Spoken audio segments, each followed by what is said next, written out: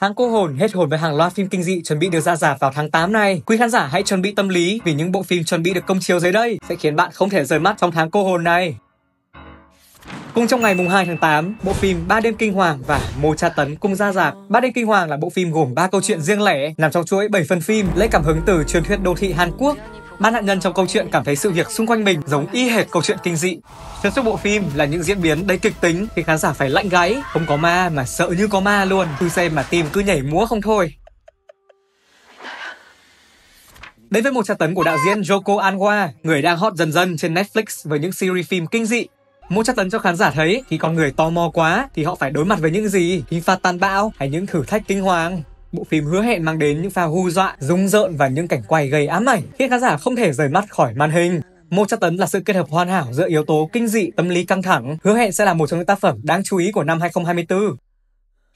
Không biết mùng 9 tháng 8 là ngày gì mà có tới tận hai phim kinh dị cùng ra rạp thế này. Đầu tiên là bộ phim Bẫy, không ma, không quỷ mà vẫn khiến người xem sợ hãi không thôi. Phim kể về người bố cùng cô con gái đang tuổi Young Buffalo tham dự một buổi concert nhưng rồi trời tính không bằng đạo diễn tính cho ngay cặp bố con mắc kẹt vào một âm mưu tăm tối và đáng sợ. Mới xem trailer thôi mà đã kịch tính căng thẳng thế này rồi thì không biết ra rạp thì sẽ như thế nào đây.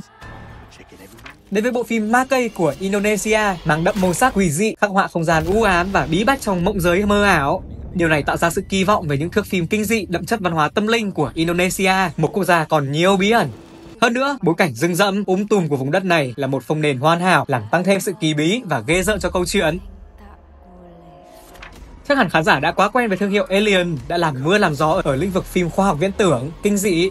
Sau 7 năm vắng bóng, lũ quái vật ngoài hành tinh này sẽ trở lại và gieo rắc nỗi kinh hoàng trên màn hình rộng với quái vật không gian Romulus. Bộ phim hứa hẹn mang đến màu sắc kinh dị kinh điển khi khán giả phải khóc thét trong dạp. Trailer vừa ra mắt đã hé lộ nhiều tình huống rung rợn và bối cảnh trạng không gian tăm tối, đáng sợ.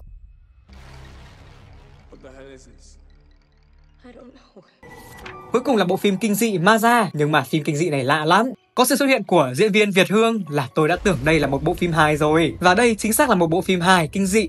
Ma Ra xoay quanh một câu chuyện huyền bí và quỷ quái liên quan đến các hiện tượng siêu nhiên.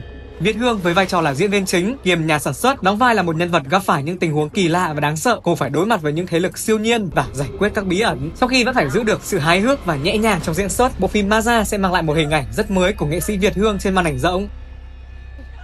Tháng cô hồn này hứa hẹn sẽ khuấy đảo giạt Việt với nhiều trải nghiệm kinh dị chưa từng có cùng vô vàn bộ phim kinh dị khiến người xem phải giật mình, sợ hãi và đầy thích thú.